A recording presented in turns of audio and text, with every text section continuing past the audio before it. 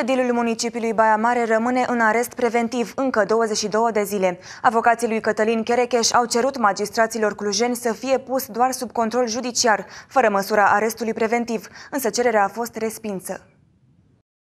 Cătălin Cherecheș a dat declarații timp de șapte ore la Curtea de Apel Cluj, însă fără un rezultat favorabil. Magistrații au respins contestația formulată de avocații primarului împotriva măsurii de arest preventiv. Soluționarea propunerii de arestare preventivă este din acest moment definitivă pentru 30 de zile, începând cu data de 27 aprilie și până în 26 mai. În tot acest timp, Cherecheș este înscris în cursa electorală pentru primăria orașului Baia Mare, iar peste 7.000 de băimăreni au semnat petiția de susținere a acestuia. Cherecheș Cherecheș a fost arestat după ce a fost prins în flagrant în timp ce primea suma de 30.000 de lei din partea unui reprezentant al FCM Baia Mare.